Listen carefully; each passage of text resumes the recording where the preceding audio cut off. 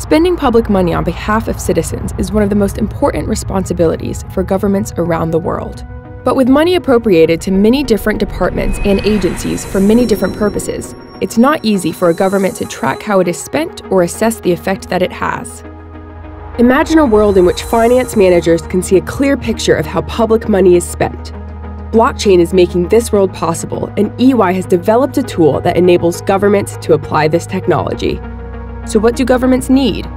What they're in particular looking for uh, is the ability to provide new forms of information exchange, information management, better data and evidence for decision making and public management. Uh, but they're looking to do so in a way that doesn't interfere with their core existing systems. Blockchains work best as a complement to existing uh, infrastructure systems. Blockchain should be the glue that lets siloed systems work with each other so that you know one government's procurement system can manage into another you know agency's budget system without trying to get everybody on the same global ERP for example. We've developed a test inside of EY. We call it kind of the five point test. Is a blockchain a good solution for this particular problem? Number one, are there multiple parties involved? Is it important between all of these participants to establish agreements on and trust in certain basic facts like who has what program, how much money has been allocated?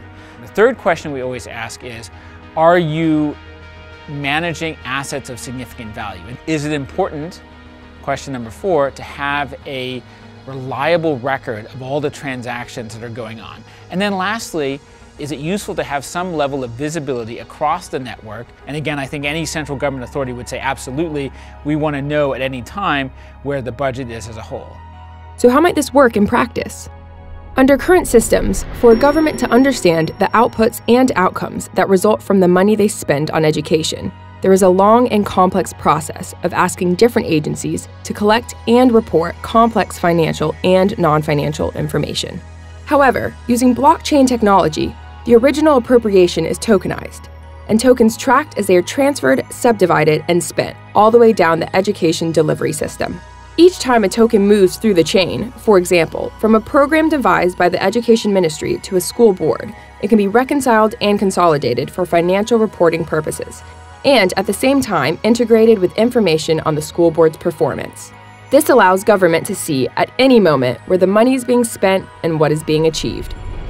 So we're seeing really great applications for procurement and spend management with blockchain because first of all, anytime you procure something with a blockchain across multiple organizations like government entities or, or, networks of private companies, you've got a complete record of everything that went on. And you know what we find over and over again is agencies are great at negotiating volume discounts. They're terrible at actually keeping track of how much volume they've procured. And so they can't get the value that they've spent. With a blockchain, instead of having like a, oh, we think the average price will be about 75 cents, we can actually have an algorithm look up all the procurement that's been done so far under that contract and then correctly calculate exactly the correct price. It works in complement to these existing systems. And so I don't have to face a large scale IT tra transformation, and yet I can still have an incredible improvement in the ability to provide integrated financial non-financial performance information. And why am I interested in that? It will improve my ability to um, discharge my public accountability responsibilities, better public reporting, better transparency, which is of course what democracy and governments are all about. But just as importantly, it provides me a better evidence base to make the sorts of decisions that are required to improve the delivery of public service.